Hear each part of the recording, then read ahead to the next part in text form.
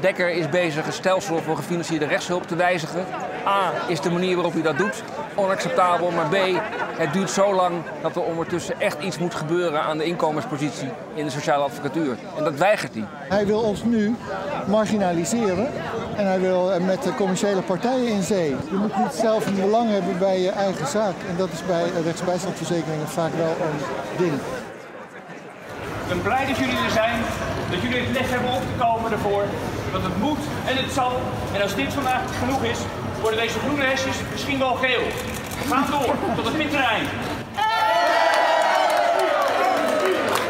Je hebt een recht op rechtsbijstand. Nu met de plannen van minister Dekker gaat daar een streep door. Dan is er dadelijk geen rechtshulp meer. Dat is echt een grondrecht voor burgers. Dit is een klein deel van de advocatuur en die verdienen veel minder dan die advocaten die u op tv ziet en uh, ja, die dus bakken met geld verdienen in de ogen van het uh, normale publiek. Minder geld, minder recht, no way! Ik zal eisen dat we eindelijk eens een keer onderzocht wordt wat de opbrengsten zijn van de financiële rechtsbijstand. Als mensen onterecht hun huis uitgezet worden, al die maatschappelijke kosten zijn nog nooit goed in kaart gebracht. En dat zal deze minister moeten doen. Ik zal eisen dat.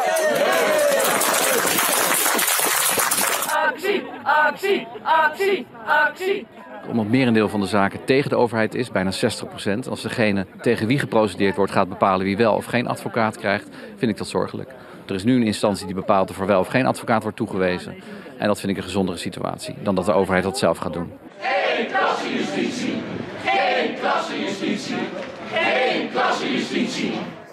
Dat systeem dat werkte altijd prima, alleen de minister wil dat systeem nu herzien. En die herziening komt er kort samengevat op neer dat de minister vindt dat minder mensen toegang moeten krijgen tot het recht.